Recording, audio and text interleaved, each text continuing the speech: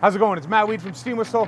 We got Steam Whistle Unsigned Ottawa tonight. We're at the House of Targ, Punk Rock Pierogies Pinball. Let's do it.